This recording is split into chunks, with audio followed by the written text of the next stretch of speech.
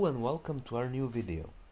In today's lecture we will be discussing batch normalization and we will learn how to apply it to train a deep neural network. After finishing the theoretical part, we will explain how to implement batch normalization in Python using PyTorch. So let's begin with our video. In order to understand batch normalization, first we need to understand what data normalization is in general. When training a neural network, usually our goal is to normalize or standardize our data as part of the pre-processing step. This is the step where we prepare our data to get it ready for training. Normalization and standardization both have the same objective of transforming the original values of a data set to new values and in order to put all the data points on the same scale. A normalization process consists of scaling the, numerical data down to be on scale from the 0 to 1. Now let's explain this a little bit in a little bit more detail. So suppose suppose that uh, we have a set of positive numbers from 1 to 100. To normalize this set of numbers, we can just divide each number with a la largest number in the data set. In this case, it is a number 100. In that way, our data set has been uh, rescaled to the interval from uh, 0 to 1. A typical standardization process consists of subtracting the mean of the data set from each data point and then dividing the difference by standard deviation of the data set.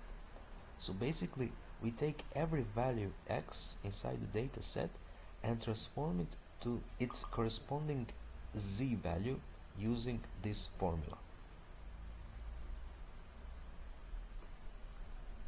After performing this uh, computation on every x value inside, inside our data set, we have a new normalized data set of z values. The mean of the data set is calculated using the following equation. It is a sum of all values divided by the number of values. To calculate the standard deviation we use this equation. We take the difference between each element and mean, square those differences and then average the result. The standard deviation is just the square root of the result. So we already explained that uh, normalizing by dividing by the largest value had the effect of transforming the values of the data set to the inter interval from 0 to 1. And, and as, you can, as you can see, looking at these formulas, the effect of the standardization process is that the mean value of the data set is transformed to 0 and standard deviation is transformed to 1. So why do we do this? Well, in general, the purpose of both normalization and standardization is to uh, put our data on the standardized scale. Uh, if we didn't normalize our data, we may end up with some values uh, in our data set that might be very high and other values that might be very low. For example, let's say that uh, we want to learn how much some company pays its employees uh, we have a data set that consists of the uh, company salaries that ranges from highest to lowest. So in this data set we may have someone with a salary of let's say million dollars and someone else with a salary of only one thousand dollars. Uh, this data has a relative, relatively wide range and it's necessary uh, and isn't necessarily uh, on the same scale. Additionally, each one of the features uh, for each of our samples could uh, vary widely as well. If we have, for example, one feature which corresponds to the age of the employee and then another feature corresponding to the gender of an employee, uh, we can also see that these uh, two pieces of data will not be on the same scale. So this is a huge problem because this imbalance can cause instability in neural networks. Also, non-normalized data can significantly uh, decrease our training speed. However, there is another problem that can arise uh, even when normal, uh, with normalized data. When we normalize a data set, we are normalizing the input data that will be passed to the network. Then the weights in our model uh, become uploaded over each epoch during, during training. So what will happen if during training one of the weights ends up being drastically larger than the other weights? Well, this large weight will then cause the output from its corresponding neuron to be extremely large and this imbalance will again continue to cascade through the network uh, causing instability. And this is why we need to apply batch normalization to layers within our network. When applying batch norm to a layer, the uh, first thing that batch norm does is uh, that uh, it's normal, uh, it normalizes the output from the activation function. After normalizing the output from the activation fun function, uh, batch norm then multiplies uh, this normalized output by some arbitrary param parameter and then adds another arbitrary parameter to this resulting product. This calculation uh, with the two arbitrary parameters sets a new standard deviation and mean for the data. These four parameters are uh, trainable, meaning that they uh, they also will be uh, become optimized during the training process. And this addition to the uh, addition of the batch norm can uh, greatly increase the speed and accuracy of our model. So when we apply standard normalization, the mean and standard deviation values are calculated with respect to the entire dataset. On the other hand, with batch norm, the mean and standard de deviation values are calculated with respect to the batch. Now we learn the ba basic theory behind batch normalization. So let's see now how we can apply a batch norm in Python. For our experiment, we are going to build the LeNet5 model. The main goal of LeNet5 was to recognize handwritten digits. It was invented way back in uh, 1998 and it was the first uh, convolutional neural network. This network takes uh, 30, uh, 32 by 32 grayscale images as an input.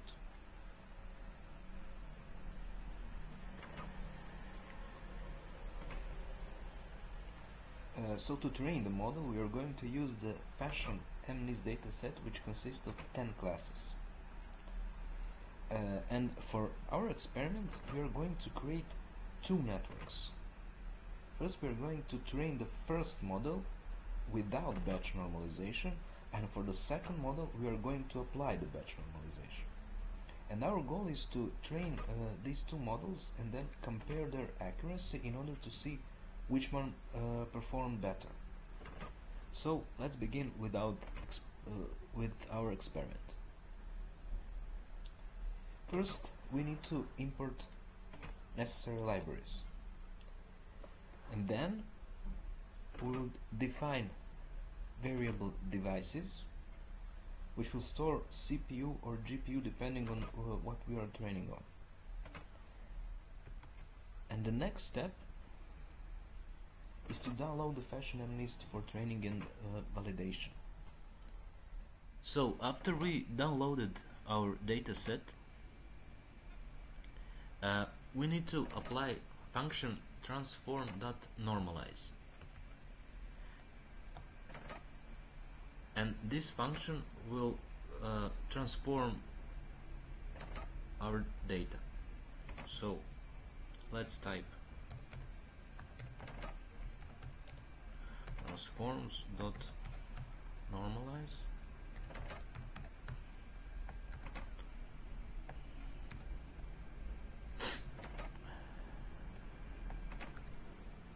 and here we will, we will specify our mean and our standard deviation.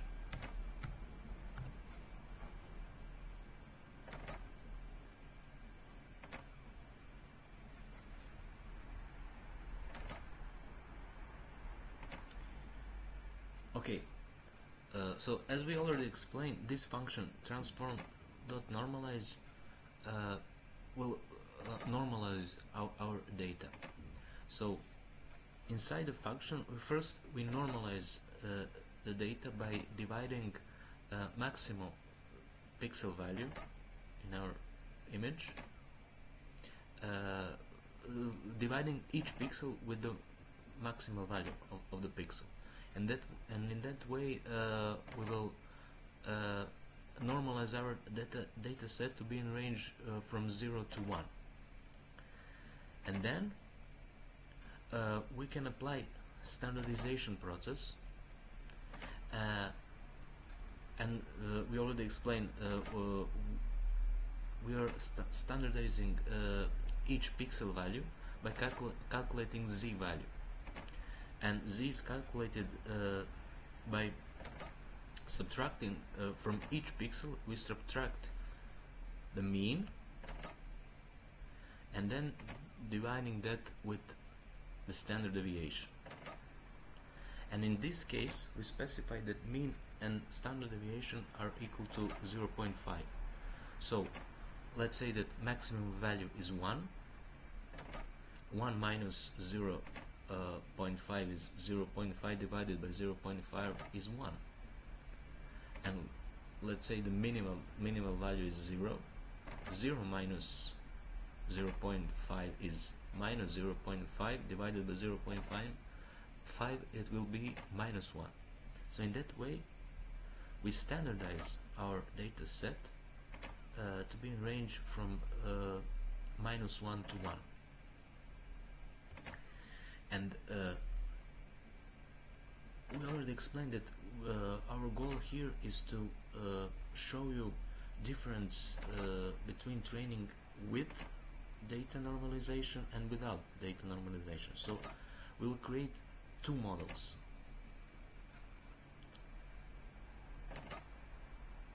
First model uh, is model where uh, normalization and batch normalization is applied and uh, the second model is a model where neither of the neither of them is applied.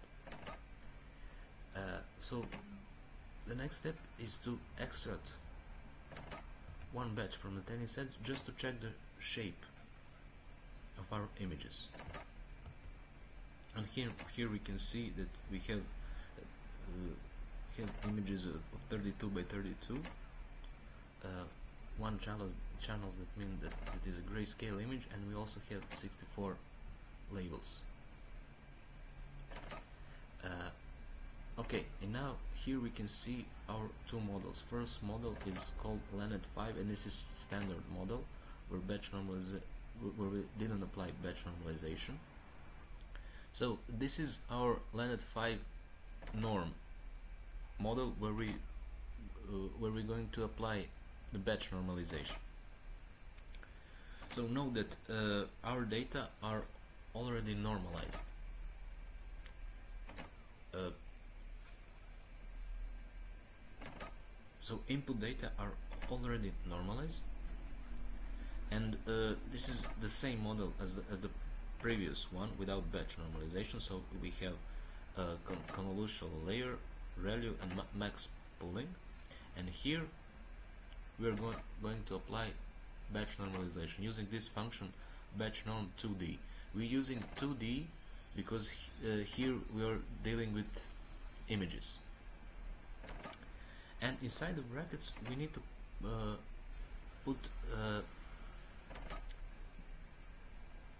the input features to our uh, batch no normalization. And uh, this is the same number as the output feature in the convolutional layer.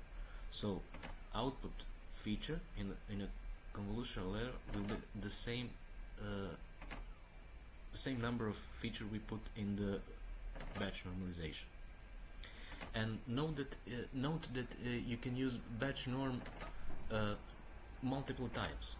But here for our experiment we will use just one batch normalization in the convolution layer and other one here in the linear layer.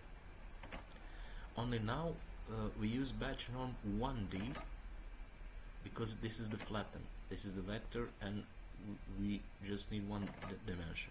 And also number of output features in the linear layer will be number of input features in our uh, batch norm layer.